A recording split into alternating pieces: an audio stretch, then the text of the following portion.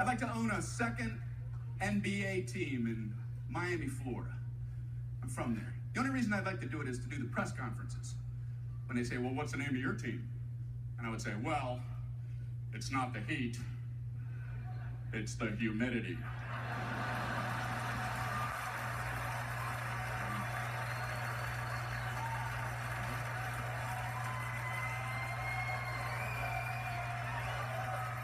And then I would sell the team right after the press conference.